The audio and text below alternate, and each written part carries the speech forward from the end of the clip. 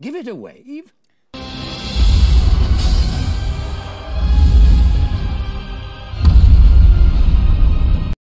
No, no, definitely not.